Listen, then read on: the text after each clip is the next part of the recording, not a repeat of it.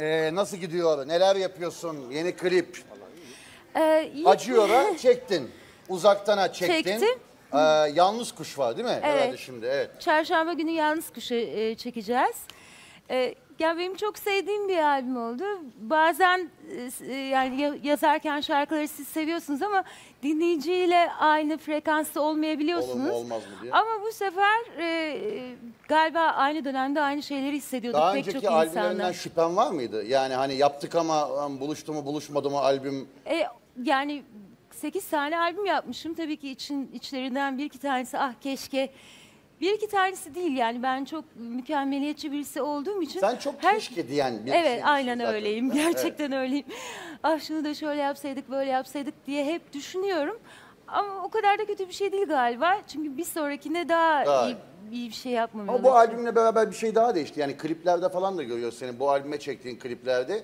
Ee, o yani her zaman hanım hanımcıksın, her zaman çok şekersin, her zaman çok tatlısın ama bu albümde biraz daha kadınsı bir taraf. Saçlar maçlar kısaldı, kostümler falan biraz böyle daha kliplerde daha şey a- açık kelimesi yanlış bir kelime onu demek istemiyorum da daha böyle keyifli, daha başka bir yere doğru gitti herhalde. Var mı öyle bir Ya niyetin var? e, şöyle e, aslında biraz fazla e, sanki kendimi saklıyormuşum öyle hissediyorum.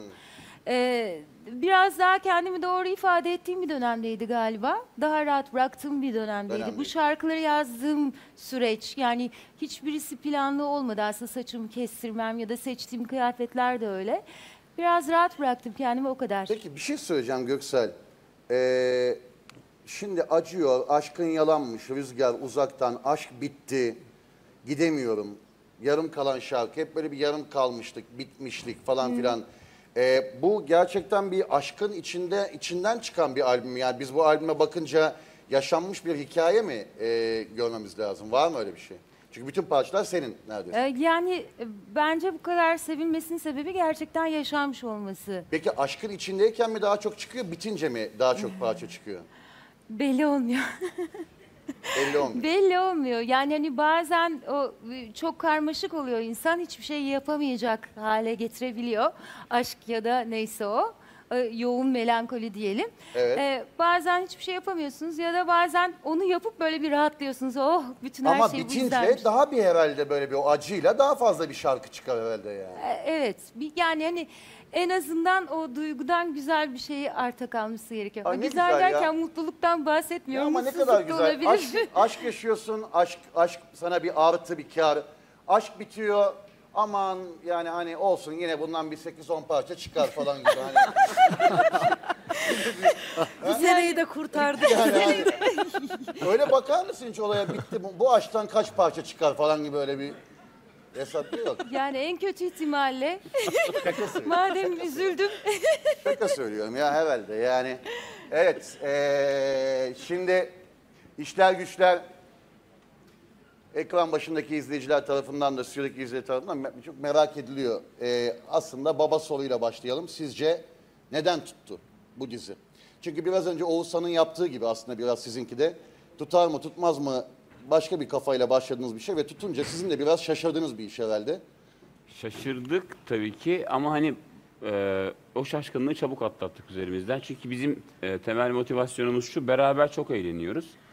Yani işte burada bulunan arkadaşlarım ve Selçuk öncelikli olmak üzere çok eğleniyoruz. Biz eğlendiğimiz için de e, seyirci de eğleniyor yani. Aslında Şey, hep tek benim inandığım şey o. Ben de bunları söylerken çok keyif aldım. Yazarken de gerçekti. Onlar da Aynen o öyle. kadar gerçek Tabii ki. çünkü gerçeği şurada satmak başka bir şey. Yani inanmadığın bir şeyle şuraya çıksan, elindeki cephane inanmadığın bir cephane olsa satarken dokuz takla atıyorsun. Bir de devamlı gerçekten, vallahi gerçekten demek zorunda kalıyorsun. Çünkü iyice inandı. Halbuki gerçekse hiç bunlara ihtiyacın olmuyor. Çıkıyorsun çatır çatır şarkını da söylüyorsun, işini de yapıyorsun.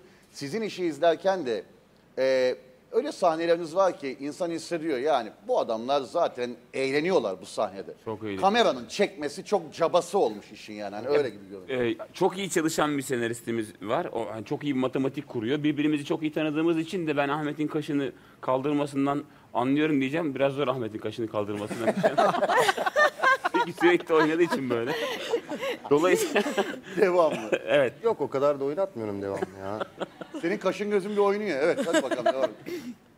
Dolayısıyla böyle hani e, şöyle bir duyguda oluyorsunuz. Siz ben de bir şey yap, yapmalıyım duygusunda oluyorsunuz. Sete giderken acayip böyle mutlu gidiyorum ben. Çok e- eğleneceğimi bildiğim için. Yani bu e, dizi başlamadan önce üçünüz böyle ya abi patlayalım, bir şey yapalım, bir şey yazalım. Yani bizden bir şey olur. İçimizde bir cevher var. Nasıl anlamaz bu insanlar bunu? Yapsak acayip gider falan gibi sohbetleriniz oldu mu o tanışma döneminizde? İlk tanıştığımız dönem zaten bizim Ahmet'le Bir Bulut Olsam dönemine denk gelir. Kanal D'de yayınlanıyordu. Ee, Mardin'de çekiyorduk. O zaman o da arkadaşıydık Ahmet'le. Ee, sürekli şikayet alıyorduk resepsiyondan. Ee, çok eğlendiğimiz için. Ee, sonra hani o dönemler ben Selçuk'la tanıştım. Selçuk da sürekli şikayet alıyormuş. Apartman dairesinde oturuyor. Baktık hepimiz sürekli şikayet alıyoruz. Dedik ki hani bunu bir değerlendirelim arkadaşlar. Evet. Sonra artık hiç şikayet almıyoruz. O yüzden oldu yani. Evet. Ne, nerede tanıştınız? Üçünüzün tanışma hikayesi nedir? Biz Murat abiyle e, Arka taraf duyabiliyor musun? Sesleri duyabiliyor musunuz? ses iki. Biz Murat Evladım, abiyle niye sesinizi çıkartmıyorsunuz? Yani hem duyamıyorsunuz hem arada deseniz de duyamıyor diye. Biraz sesleri bir açalım. Stüdyonun seslerini bir açalım.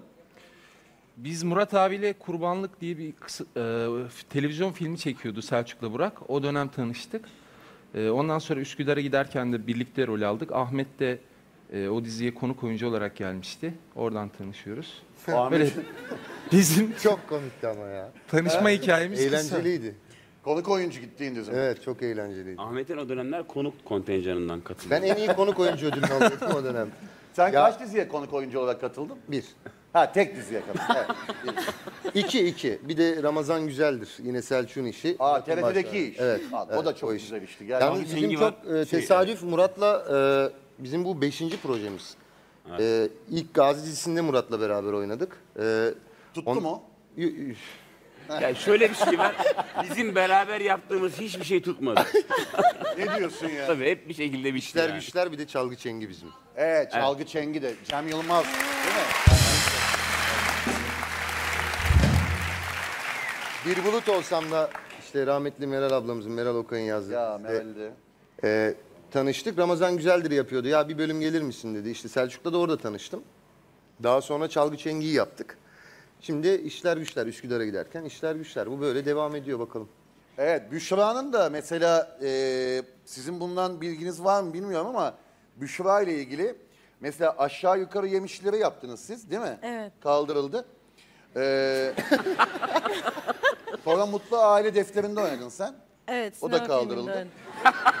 Sonra Annem Uyurken'i yaptınız. Ee, o da kaldırıldı. Şimdi de bu işin içindesin.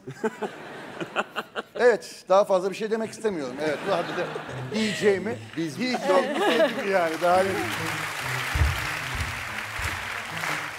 Kanalımıza abone olarak tüm videolardan anında haberdar olabilirsiniz.